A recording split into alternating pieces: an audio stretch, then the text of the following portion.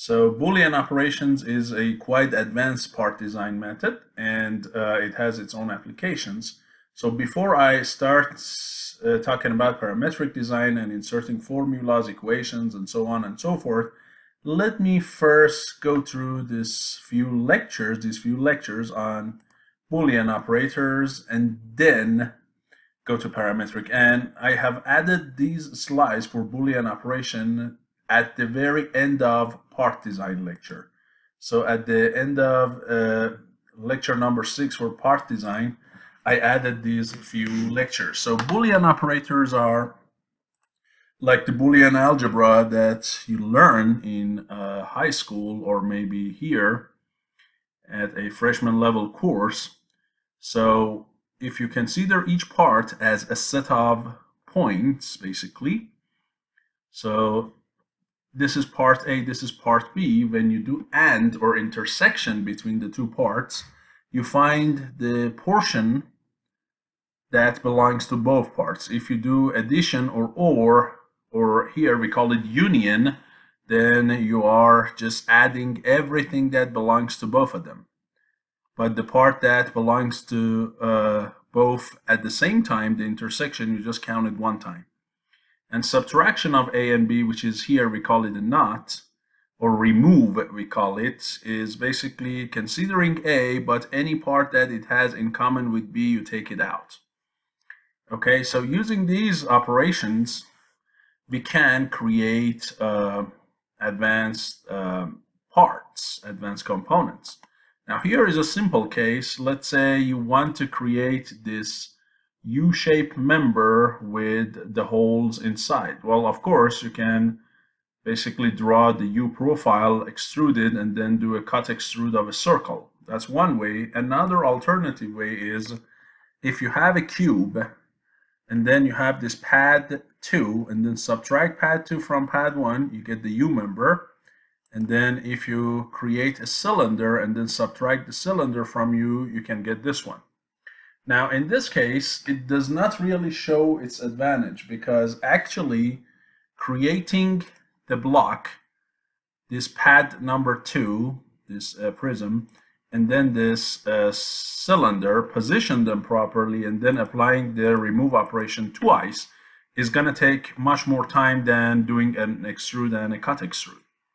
So it does not really show its advantage when the part is simple. But when the part is complicated, like remember I told you inside the class that when you have a wing, inside the wing we have at least two internal structures. One is called rib, the other one is called spar. Remember that? So uh, spars and ribs inside the wing.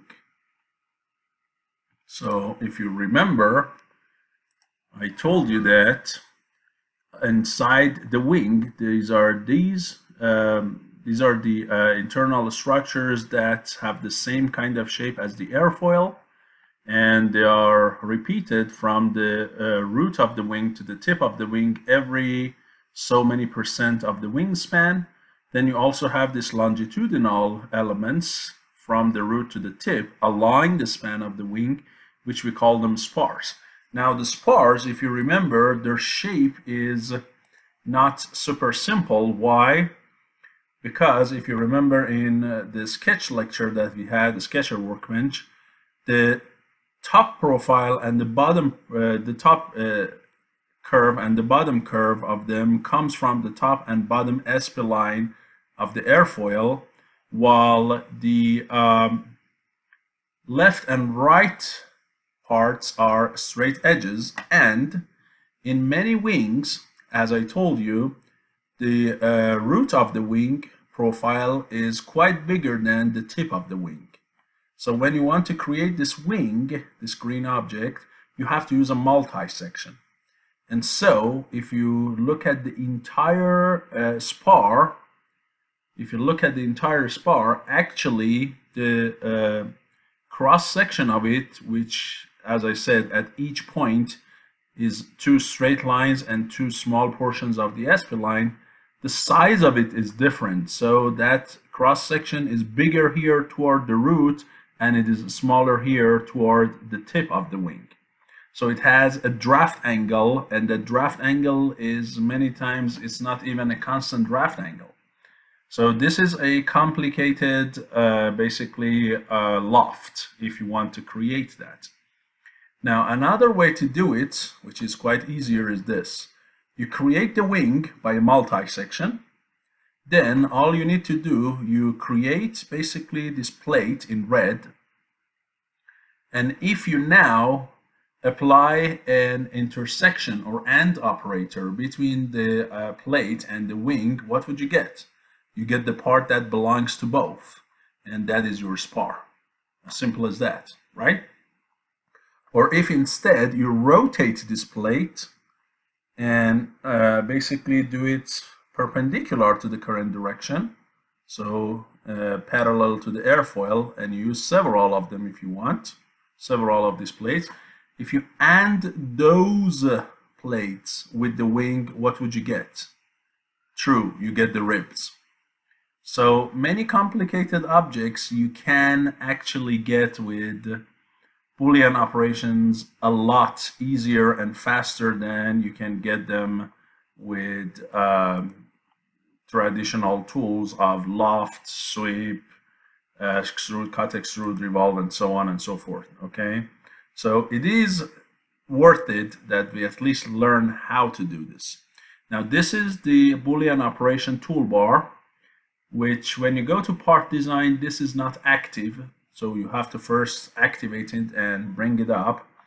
And then the other important thing is when you do Boolean operation, you cannot do Boolean operation between features inside a part. You need two separate parts to create a Boolean operation.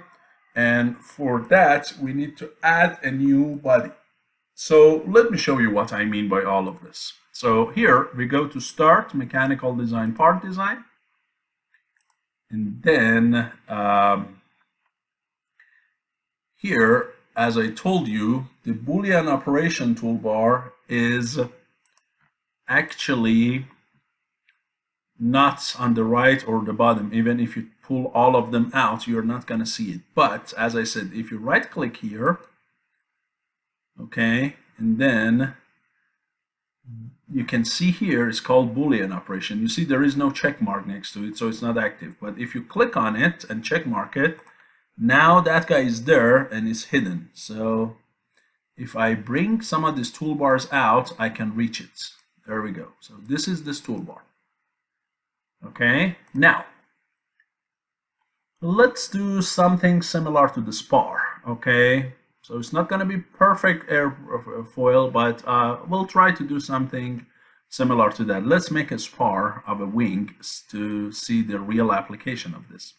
So what I do here is I click on the YZ or front plane, and then I use two splines and create an approximate airfoil.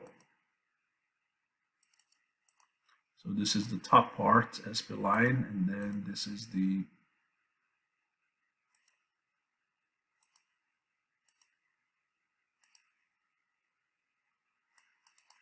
bottom part.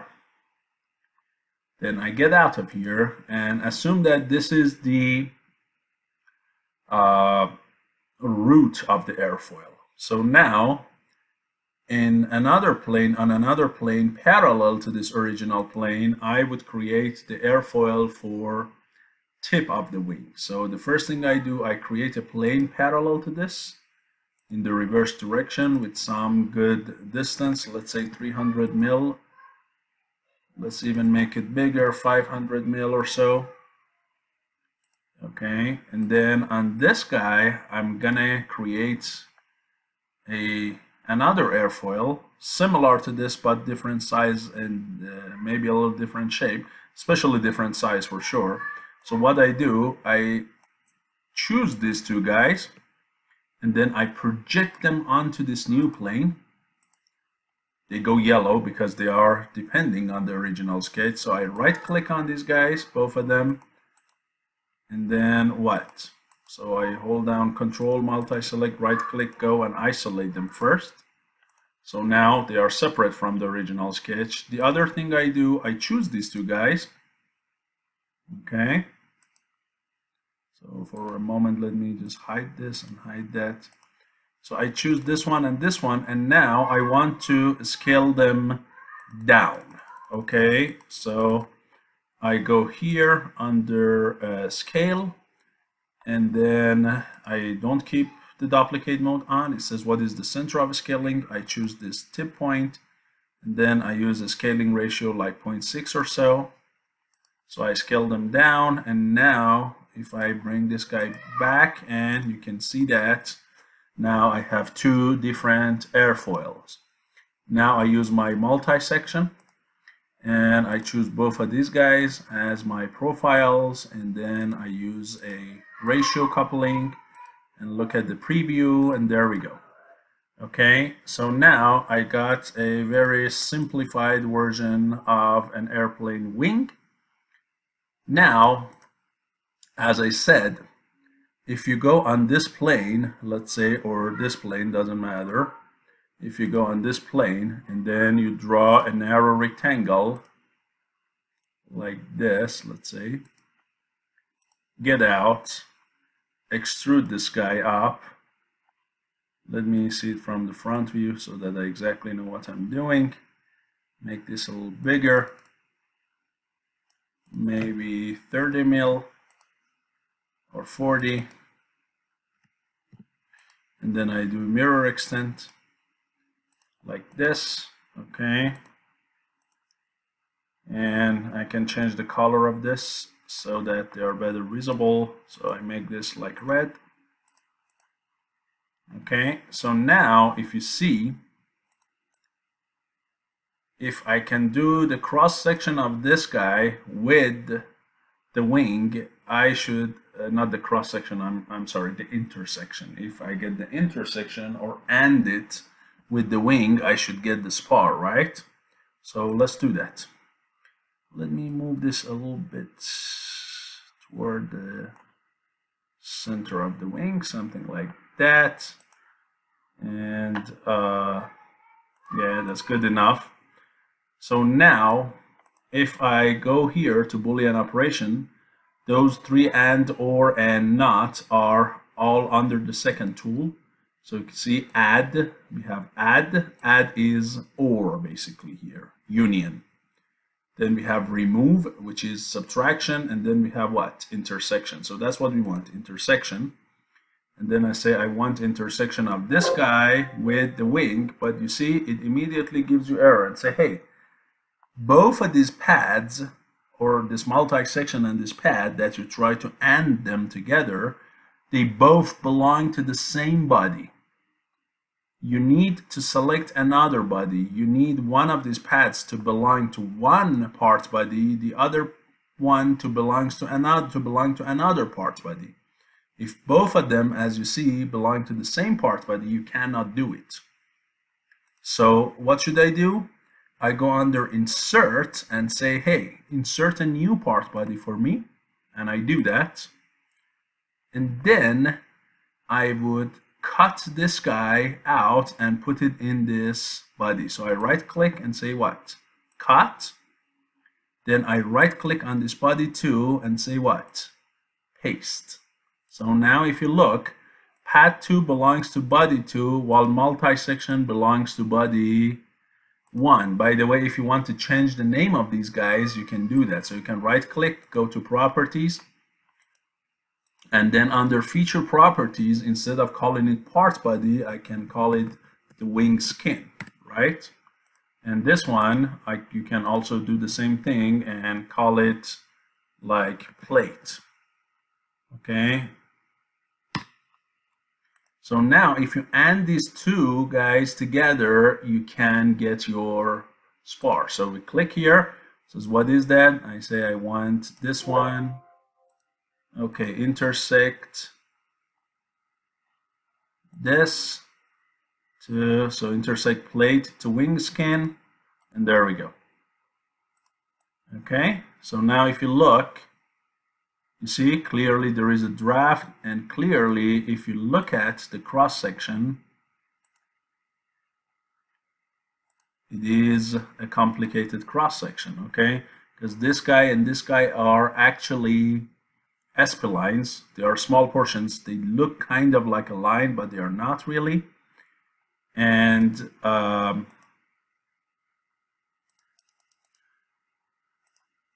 these two sides are straight. These two are a portion of spiline. And as I said, when you look from the side, then you have a what? You have also a draft angle. So you have several variations along this member, but now you can see I can easily do it with a uh, Boolean operation. Okay, so here you learn two things. One, how to insert a new body, how to cut and paste some features from one body to another, how to change the name of a part body, and how to apply a uh, uh, Boolean operation between two bodies. Okay, you can also do union or you can do subtract, right? So here, if you subtract that plate from the wing, you're gonna get two separate wing sections, one on the left of it, one on the right, right?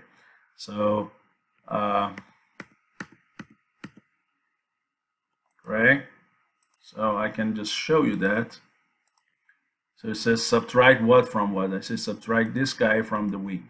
And look, yeah, I got the portion that belongs to both out and removed it from the wing, and that's what I have. So you can do union, then it makes both of them one object, and so on and so forth. So uh, I just wanted you to know about this uh, very important thing. Okay. So now that we are good, let's go and look at the new lecture on doing the advanced parametric design.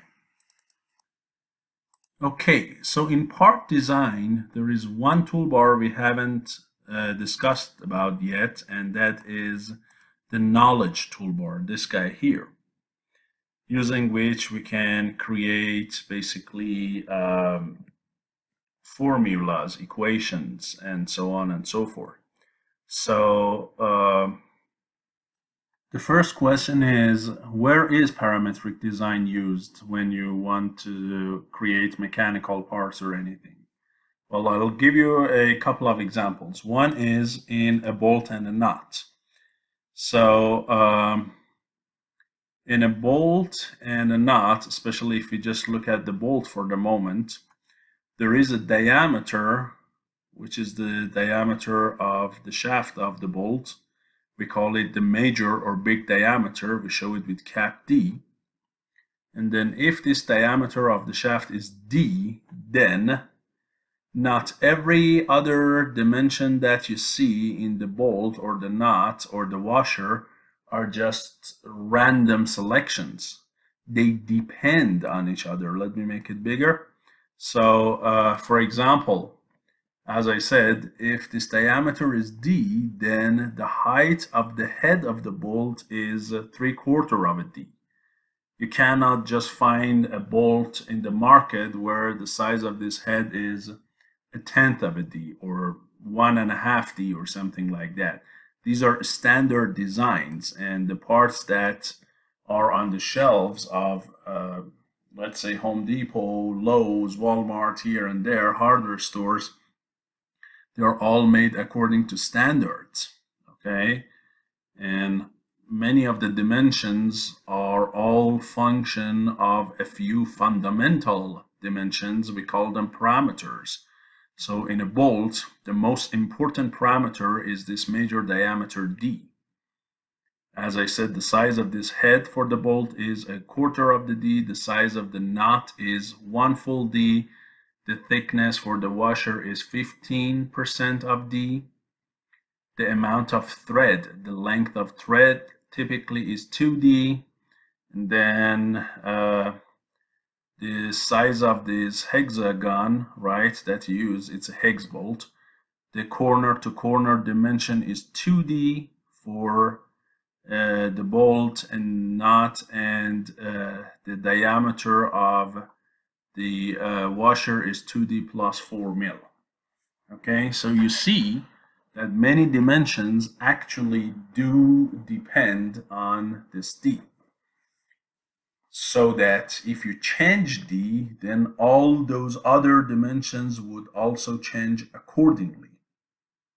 Okay, so if you create one type of bolt, let's say an M4 bolt or something, then once you change that to another type of uh, bolt, let's say an M8, a bigger, um, or M10, a bigger type of bolt, then the entire bolt is scaled according to these formulas.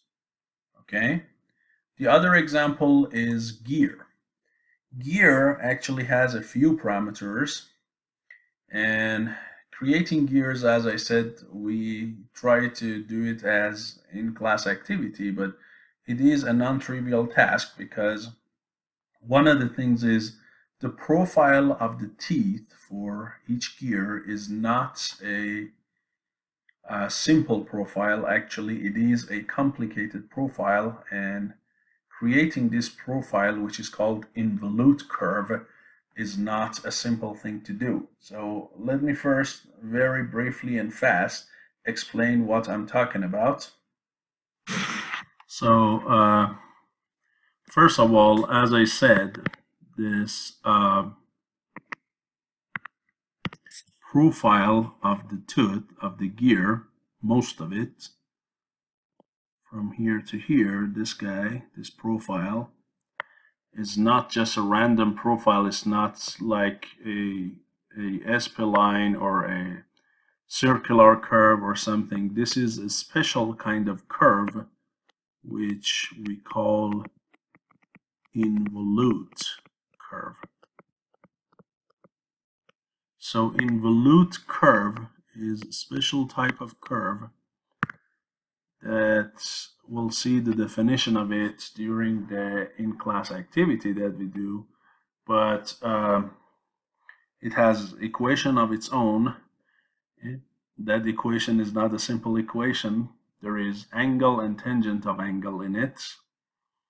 And uh, why should the profile of the tooth of a gear be like that? Because if I, let's say this is, these are two gears that are working together, and this is the input gear with some radius and this is the uh,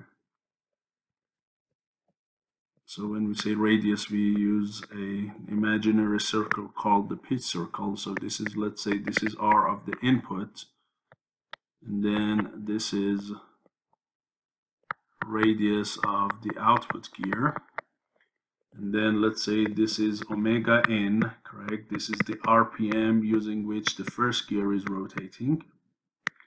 Then this is omega out. This is the angular velocity of the output gear. Then if we have this involute curve you can show that omega out over omega in is equal to radius in over radius out. Now, assume that this guy is coming from motor. So let's say the motor is connected, the engine of the car is connected to this, not motor, let's just focus on car engine. And this guy is connected to the wheels. So these are the gears inside what? The transmission, okay? So let's say this is the transmission of your car. The engine RPM and power comes to an input gear, then it is reduced or increased depending on what type of gear are meshed here together. And then um, and torque out and RPM out gets out to the wheels. Okay, so let's say here that you make sure that this omega in is constant. In other words, you put basically the car on like a cruise control. So the input to the engine, the amount of uh, mixture of gas and air that goes to the engine, you try to keep constant. You don't push the accelerator. You don't push the brake or anything. And you try to keep the input RPM to the transmission constant. Also since these two gears are fixed then both of the radii are constant. So this is constant this is constant and this is constant. Therefore you expect here that the output RPM also be what? Constant. And so the wheels will rotate with the constant RPM. So the speed of the car is not going to change. Very reasonable, very nice. But this ratio and this equality happens if and only if the profile of these teeth are involute gear. If it's something else like a circular gear or some kind of cubic S-spline or something like that, then actually this ratio instead of being a constant number, it is going to be a variable number. And what happens then? The input omega is constant, but since the ratio is variable, your omega output is variable. What does that mean?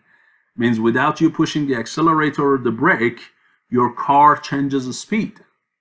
So you're not doing anything, but your car goes like 10 miles an hour, 20 miles an hour, 50 miles an hour, 30 miles an hour, 45 miles an hour, which is completely mm-hmm. weird and illogical. So this constant, what we call this guy, there is an important name to it. Of course, to the reciprocal of this, we call it the speed ratio. So this speed ratio in gears, you can keep it constant and it should be constant if and only if the profile is involute. So I just told you so that you learn a little bit about your previous courses. Now, going back to this course, so this involute profile, when you want to define it, this involute profile is limited between several circles. So it is limited between the max circle, the biggest circle, which passes through the tip of the teeth. We call it the addendum circle. And uh, then there is another circle down here, which is not passing through the roots. The one passing through the root is called Dedendum circle. We're not talking about that. There is a small circle, a little bigger than the one passing through the roots here. It's called base circle, as you can see. And then there is this imaginary circle using uh, which we determine those R in and R out. I just showed you that we call a pit circle can see here. So there are four circles in a gear. Then there is the angle at which the force between the teeth is exchanged. We call it the pressure angle. So the important parameters when you design a gear is one the diameter of the pit circle this imaginary circle on which the contact point between the teeth are located. Pit circle the diameter of that is important then the pressure angle is important and also the number of teeth on the gear is important okay? So if you show the diameter with D and the number of teeth with N then we uh, define one of the very important parameters for a gear. Is called the gear modulus okay. So this is one of the very important parameters in a gear. We call it gear modulus or M. It is the ratio of diameter of the pit circle divided by the number of teeth. Okay. This is what we use in uh, standard uh, international system ISO this is the parameter using which we select a gear. So when you go to the store you want a bolt how do you select a bolt? Okay, so let me talk a little bit about it because these parameters are really important. So when you go to a, a store and you want to choose a metric bolt, because there are two types of bolts, a metric bolt and a UNC or UN, uh, a universal bolt, the British system. So if you want a metric bolt, a metric bolt is shown with something like this. So when you go to the store and you want a metric bolt, it, you say, I want an M10 bolt. What does that mean? This 10 here is the major diameter D of the bolt, okay, in millimeters. So when you say M10 means this D is 10 mil, right? Now when you want to go and buy a gear, how do you specify the gear? One of the parameters using which you specify the gear is this gear ratio, uh, gear modulus, D over N. Now in the British system, we use the reciprocal of that, which is N over D. Okay, and we call this guy diametral pitch.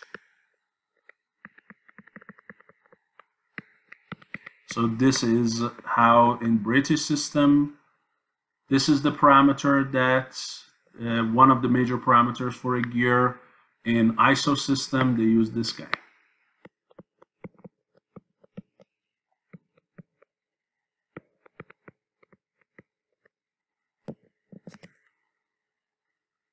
or you might call it UN bolts. Uh, no, that's for the bolt. Let's let's just call it that. Okay, so depending on which standard you're using, this is one of the major parameters of a gear, gear modulus. And as I said, the other parameter important in a gear is this phi, which we call pressure angle. And then once you have D and N, or you have M and N, and phi using these three parameters, almost anything else in the gear is determined. So once you know the module of the gear, once you know how many teeth you want on the gear, and once you know the pressure angle of the gear, then all other diameters, dimensions, and everything, as you see, they are all a function of these three parameters. And you can see them over here. Okay?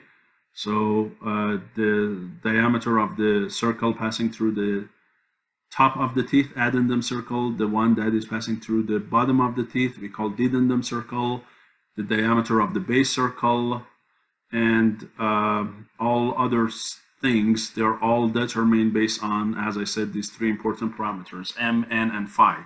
For a bolt, it's mostly D. There is also another parameter which is uh, sometimes if the length of the thread is different than 2D, then we add that as a secondary parameter.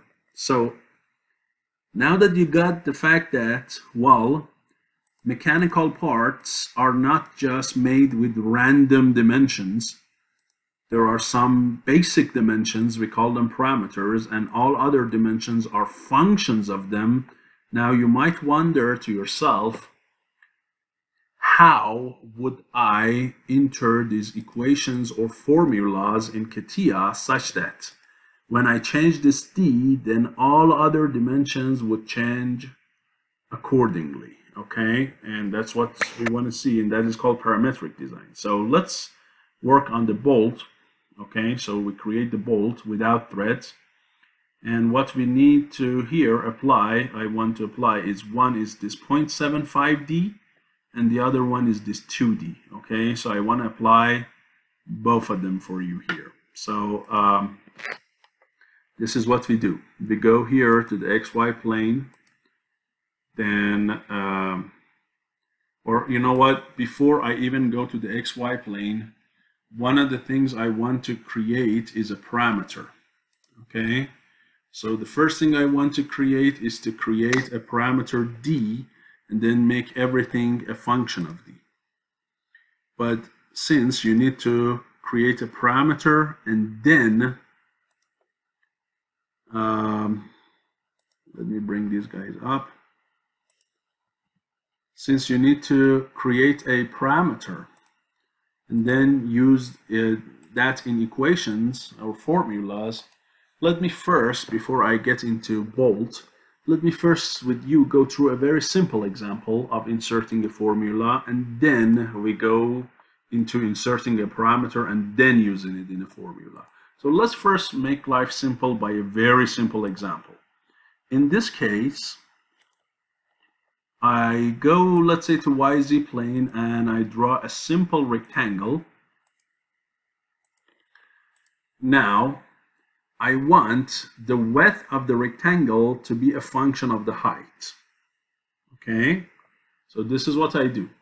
I use the dimension tool and I provide dimension for both of these edges. Now, let's set this to a fixed number. Let's make it 120. So you see right now, these are independent. You can change each one of them separately. But now I want to say no. This, this guy here is actually a function of this 120. They are related to each other. How? This is what you do. You click on that dimension, you want it to be a dependent variable. You want it to be a function of something else. You click on it, and then here in this uh, knowledge toolbar, which is down there, you click on the formula fx.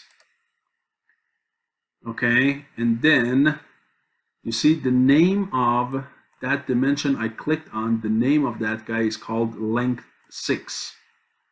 It's called part body under uh, backslash sketch 2 backslash length 6 and it is of type length with that much of value. Then I say I want to add a formula for that. And when you do, now you get this window. Now it says this length 6, which is that guy, is equal to what?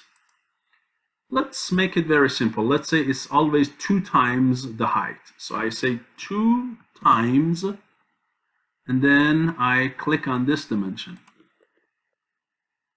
And then it provides the name of that dimension here. The name of that dimension is called length 5. So here it says length 6 is 2 times length 5. And look, right now it is not 2 times that. But once I apply this equation, look, you see, immediately change to what now? 240. And now if I change this guy to 100, then the other one becomes 200.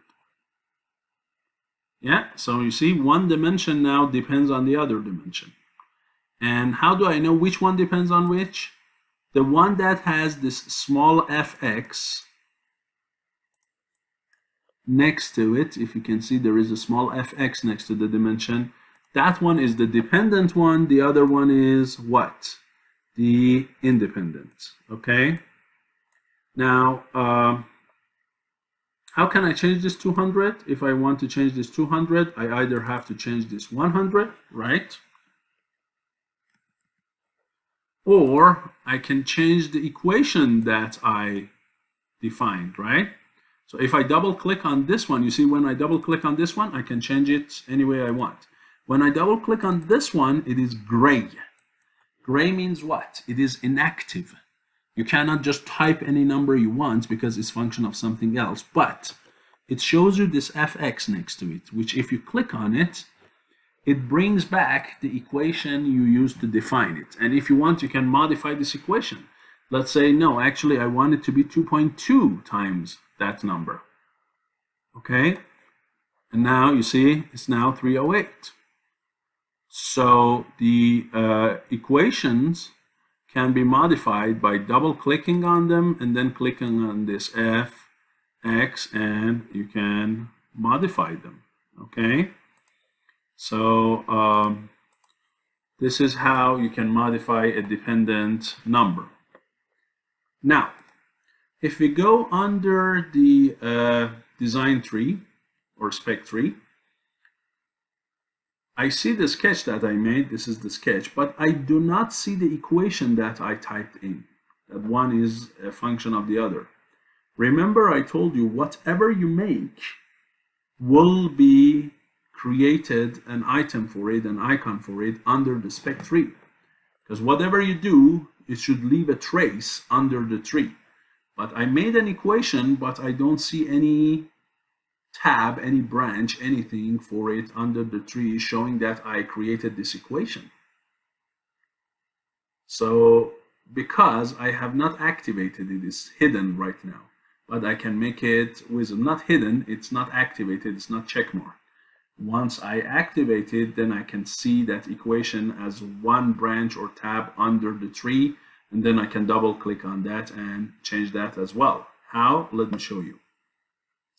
So in order to make the equations visible, you go under Tools Options, then you go under Infrastructure, and then you click on part infrastructure. And then you click on display. And here you see constraints, parameters, and relations, the formulas are not check marked. If you check mark them, then all of them will be shown on the tree. Now, if you see, there is a new tab added to the tree called relations. And if you expand it, you see that formula that I have created. And you can double click on this guy twice, not once, twice, and you can get this equation back, right? And you can modify it. Okay, now when you do it twice, you get out of the sketch. So you need to double click and go back to the sketch. But as I said, you can modify it this way, or you can go here, double click, and then click on FX. So this is how you create an equation and modify. Now, what about more complicated equations? That equation was too simple, just one is a number times the other. What if we want to make that equation a little bit more complicated, at least let's say add a constant to it. So for example here, I want to say length 6 is 2.5 times length 1 plus uh, 50 mil, right? So let's add the constant 50 to it. Now, if you do it and say, okay, what do you expect? Well, I expect error, but let's see. Yes. So it doesn't like it. It says units are not homogeneous. And that is one of the important things. CATIA is like me in dynamics class. When I teach my dynamics or controls or other classes, I always say, hey, when you write the final answer, if you do not specify the units, it's meaningless. So here, when you say 50, 50 means nothing. Unless you say 50 millimeter or inch or meter or watt. So you cannot add number 50, which is just a unitless constant, to length 2 or length 4, which are of type millimeter or inch. You have to add similar quantities together on each side of the equation and that is this topic that I mentioned, unit consistency. So make sure if you are inserting such a thing, you say, well, this is plus 50 what? Mil, so add mm. Now it is meaningful to it. Now if you multiply 140 by 2.5, then you get what? You get uh, basically 350 and then add 50 to it, you're gonna get 400, right? So now this guy makes sense, right? If you want, instead of 50 mil, you can say what? Let's see if we say two inches instead. Is that still gonna work? Yes, because it recognizes, it converts that inch back to mil and add it to the rest of the millimeter dimensions but I make sure that this guy is of type length and this guy is of type length. This 2 is of type nothing. It's just a unitless constant. So you have to add a unit in front of constant and then add them, okay? That is an extremely important thing.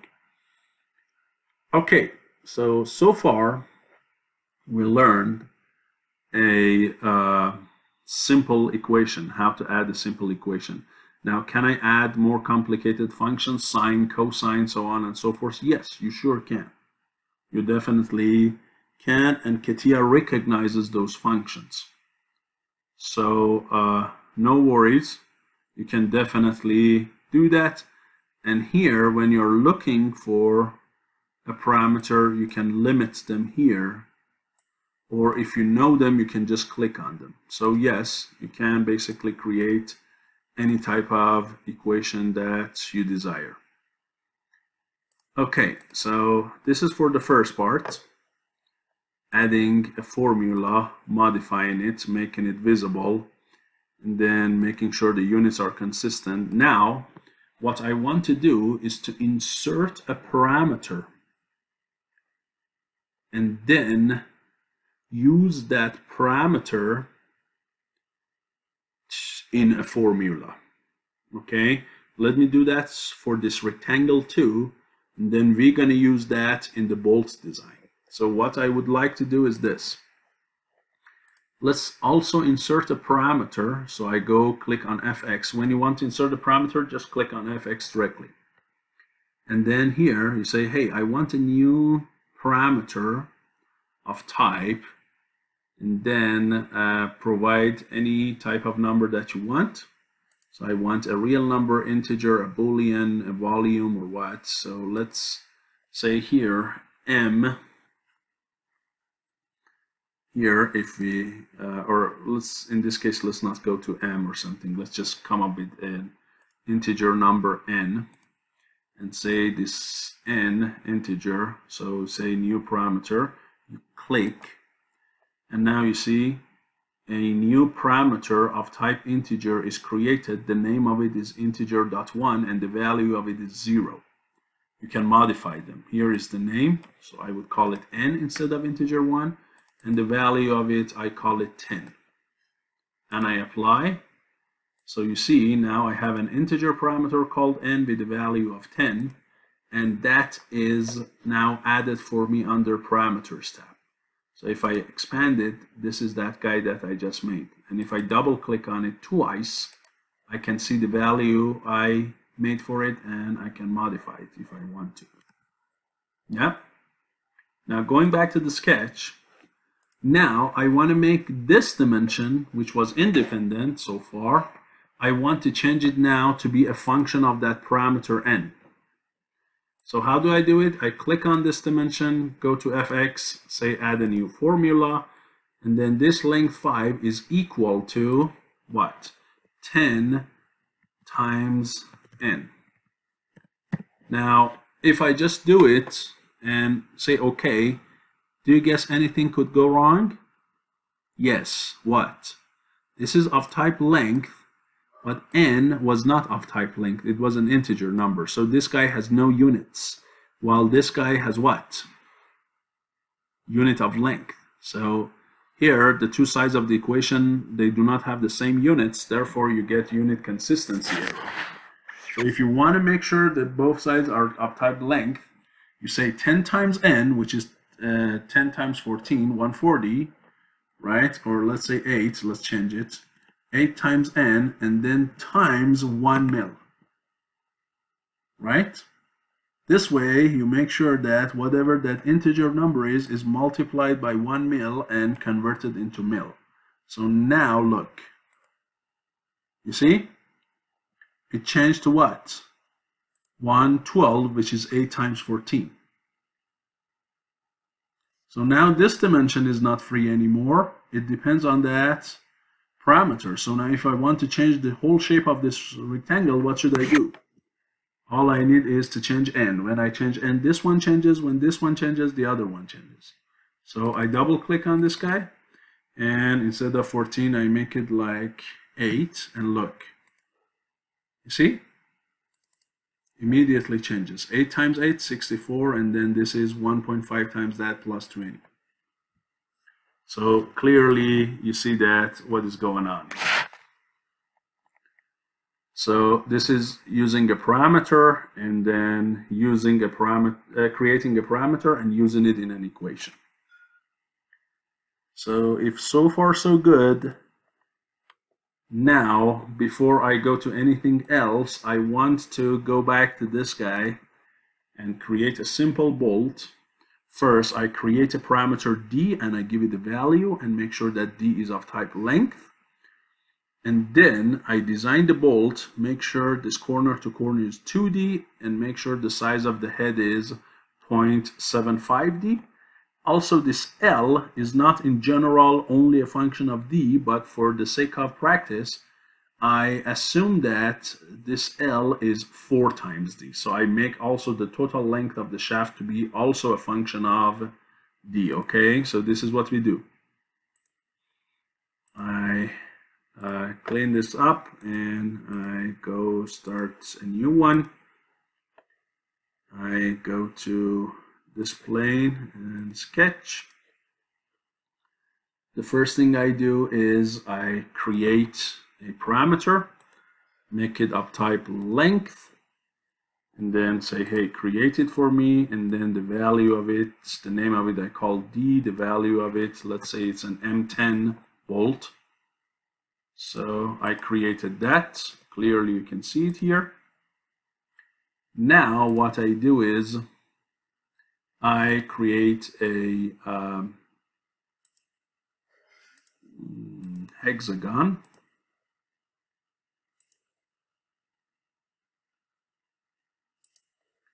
and then I make sure the corner to corner dimension of it is 2 times d. So when I click on the dimension and I provide this corner to corner like that, then I click on this guy, go to fx, add a new formula and say this is equal to 2 times d.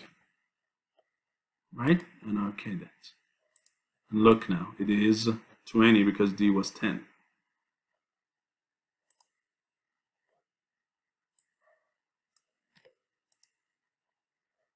Right? So now it's a function of d. Then I get out, and now I use extrude. Now this extrude is what? As you can see, the size of this guy is 0.75D. Now here, that's basically inserting that formula here for the length. Can I provide a formula here? Can I say this is equal to, and then say 0.75 uh, and then times d. Can I do such a thing? Okay, because d was 10, right? And 0.75 is seven and a half mil. But you see, it did not really take that, okay?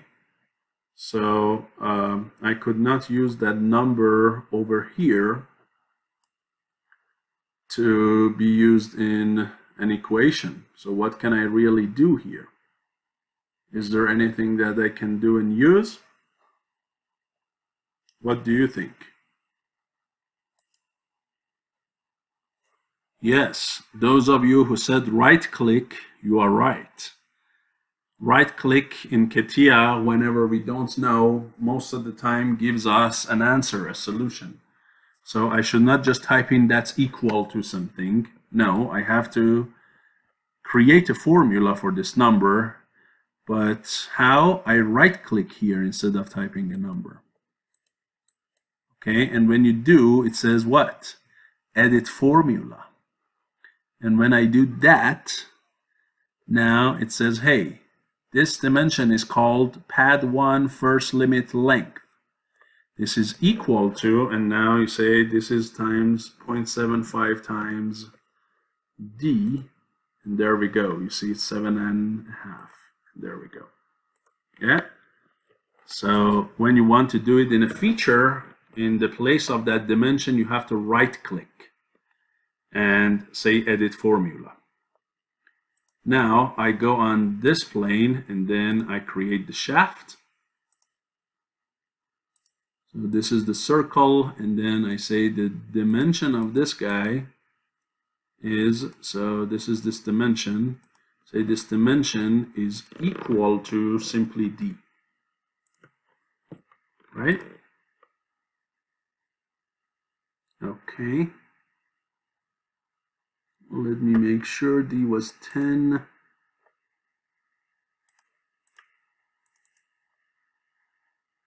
Guess some mistake happened.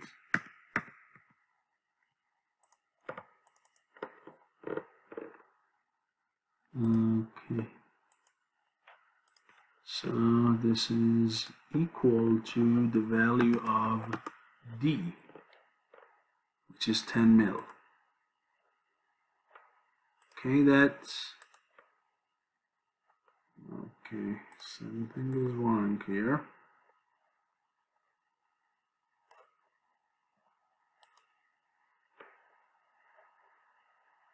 Because D was 10, not 20.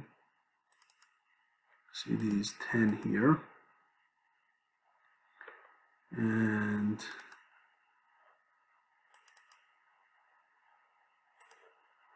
look at the equations. So this is here. It says, oh, the radius. That's the problem. So it actually says the radius of it, although we click on diameter, but here it says the radius is equal to, so you have to say d over 2. There we go. And now he used this guy, and you will uh, extrude that for the length L. And remember, I said L is 4 times D. So here I right click, edit the formula, and say the total length is 4 times D, should be 40. And there we go. Right? So you see, now I made a very simple rough, of course, you know, we made the bolts. It has a lot more detail. But now I made a simple bolt with shaft diameter D, total length 4D, and the size of the height of the head is 0.75D, and corner to corner of the heads is 2D. So there are several dimensions that depend on D, right? So now all I need is, if I want to convert this M10 bolt to an M8, double click here and change 10 to what? An 8. And look, everything will be resized. There we go. So that is the power of parametric design. You change the few parameters that determine the entire shape of the part and there we go. Now you get yourself another standard part, okay? So that's what we do. Okay, so, so far from the uh, knowledge uh, toolbar, we have learned how to use the fx command, right? Or the add formula. Now, um, there are a few more commands in this toolbar that I want you to know about. So let me make a rectangle, add the two dimensions, and so we use this fx. This is basically adding uh, comments and URLs, which we don't need at the moment. We're going to see design table next, but uh, knowledge inspector, right now we don't need it. And lock selected parameters really. So the one I wanted to show is equivalent dimensions. So here, I want to make these two dimensions equivalent, which is basically making the length of them equal, but equivalent is a little different than equal. So I could always say, hey, I select this edge and this edge, go to the geometric constraint and use the equal, if there is, there we go, use the equal constraint to force them to be equal. Now here, you clearly see it doesn't like it because the dimensions are different. But if I remove one of them, like that, then now these two are equal. And if I change this one, the other one would change accordingly. Okay? So one of them that has the dimension will be like the independent and the other one will be depending on this and these two are always equal. Now, equivalent is similar to this, so the dimensions of the two lines will be equal always, but it's not like one of them is a function of the other. They can both be changed. So let me show you. So I get rid of this equal constraint that I made and I provide dimensions to them. Let me change one of them for the moment. And now I say, well, I click on this guy. It says, okay, which two dimensions do you want equal, equivalent? I say this one. It allows me. Let's see.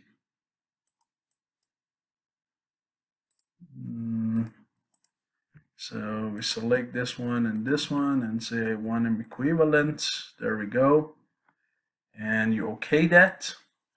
Now these are equivalent, so I can double click on this one and change it. or I can double click on this one and change it. Okay, so that's the difference between equivalent and equal. Equivalent means uh, each one of them can be changed individually, separately, and the other one would change accordingly. But in equal, one of them is like independent variable and the other one is dependent variable. Okay, so I just wanted to make sure that you know this one as well. The final thing, which is a very interesting thing in this lecture, is design table. And design table is a very good, powerful tool in CATIA, which allows you to make a variety of a part, a uh, different set of different configurations of a part and save all of those basically under the same cat file by adding one Excel sheet. What do I mean by that? Let me show you. So let's say here I go ahead and create a rectangle, give it some dimensions,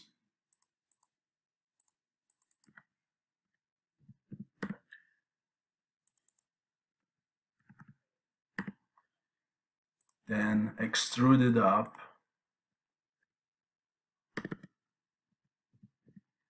Then on this top face I come and let's say create a cut extrude somewhere with some diameter.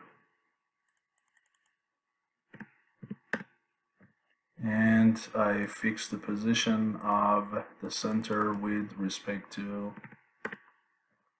reference locations.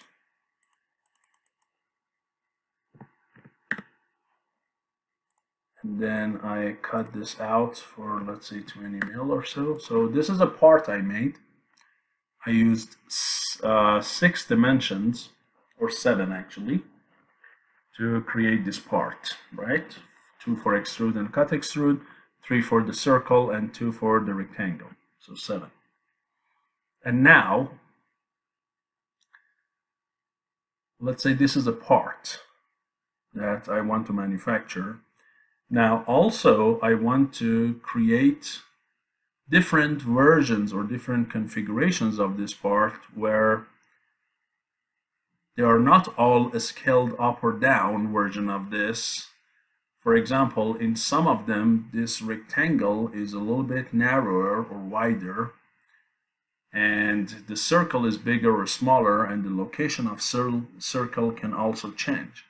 So what they share is basically they are all extrude of a cube and cut extrude of a circle. But the dimensions and the locations can change. So it's a little bit above using a simple parameter that we did for the bolt, right?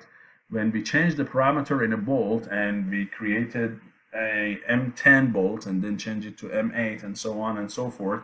It's like basically scaling down or up the whole thing. Well, here, it's a little more than that. When you move this cut extrude from here to somewhere else, it's not really scaling anymore.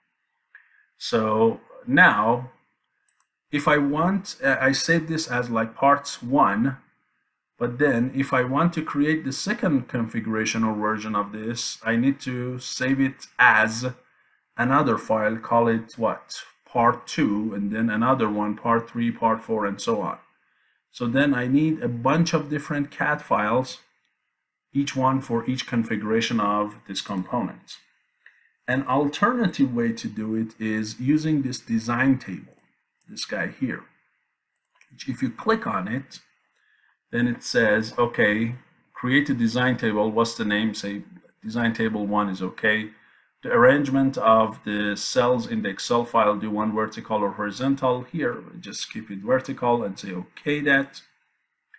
Then it says where do you want to save it? Let's say under downloads, okay. And as I said, I call it uh, design table one. Okay. So, um, right. Oh, wait, I made a mistake. The mistake is this. It says, do you want, yeah, you have to pay attention to this part. Do you want to create a design table from a pre-existing file or using the new, the current parameters and create a new file?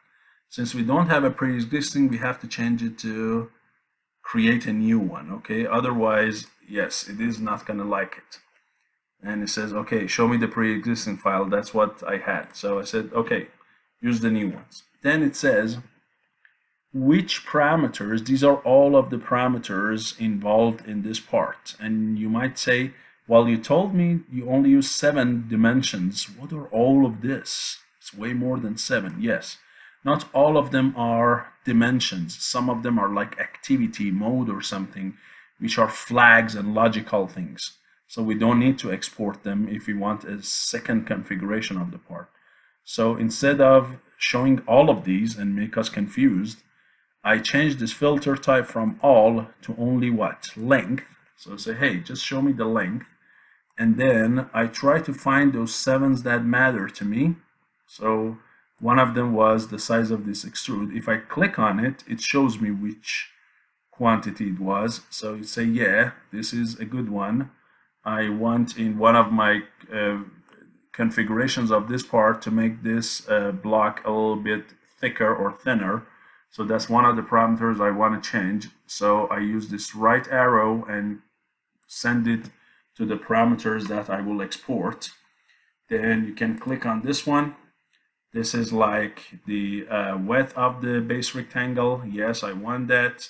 Then you click on this. This is the height of it. I want that. Then you can go to this one, the depth of the cut extrude. I want that. Then you can go to the radius of the circle. I want that. And then you have two offsets for the circle and you can export them as well. So these are those seven parameters. And I say these seven are good and I okay that and then it's gonna save it as an Excel file for me. You can also save it as a text file, but I recommend you do it as an Excel file. You give it the name design table one under downloads, you save and okay that. And now what it does is if you go under downloads, now there is this Excel file created. And if you open it, it has all of those dimensions that I mentioned, their names and their values over here. Okay, and then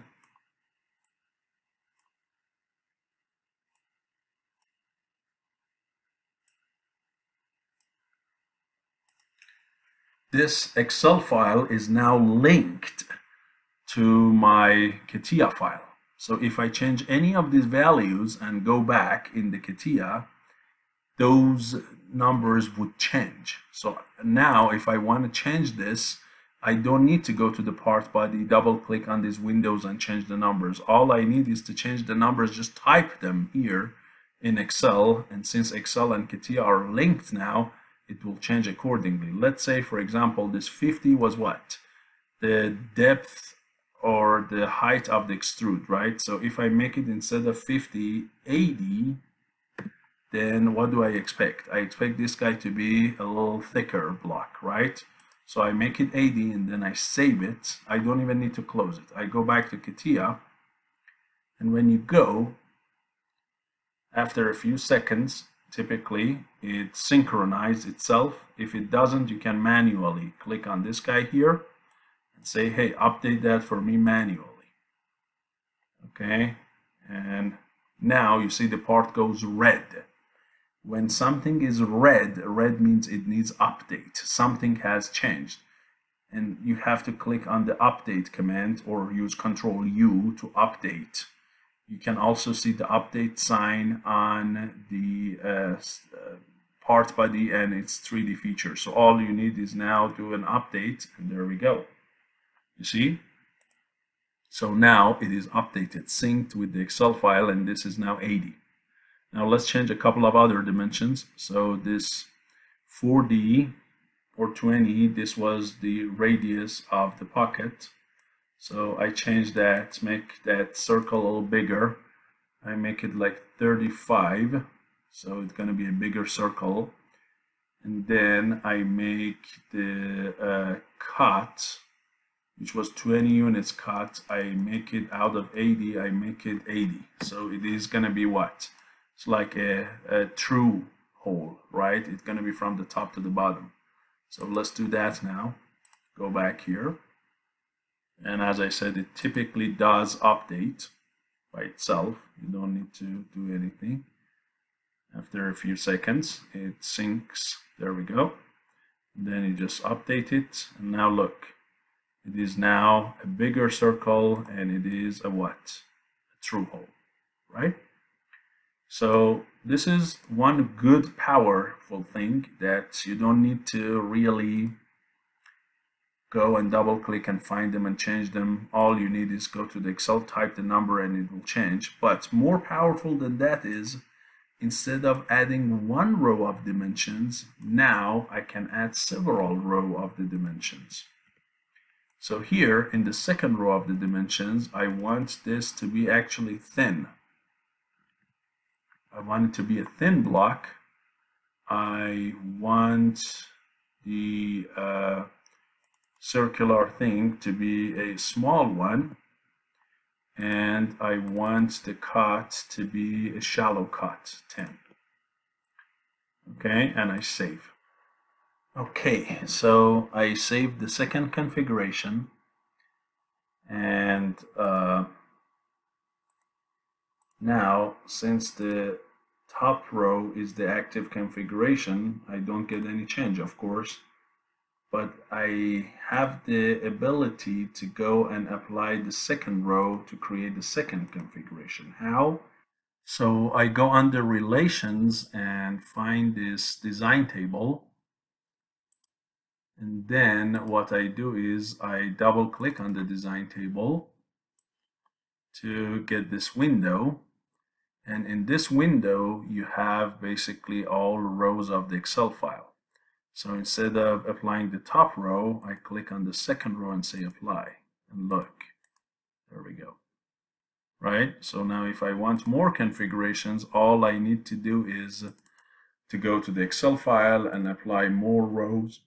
And each row corresponds to a configuration. So what's the advantage? I can create a library of all parts with a similar uh, appearance like this, but they differ in dimensions and locations and some specs.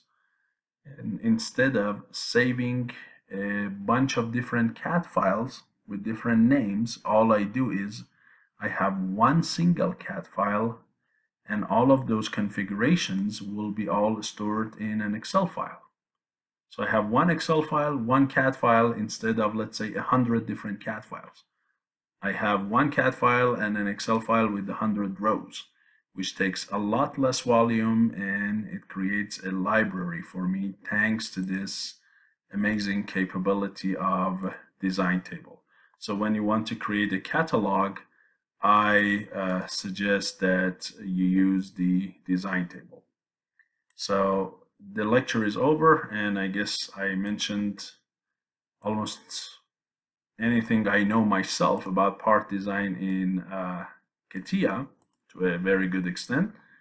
And uh, we're gonna do this spur gear tutorial that is on Canvas under modules tutorials the file that tells you step by step how to do it. If you go under, as I said, modules, go under tutorials, you see this PDF file which tells you step by step how to create a, a helical, uh, basically, gear, which is not a, a trivial part to make. It tells you how to create that in CATIA in order to learn more about parametric design. Okay, thank you so much for your attention and I will see you in the next lecture.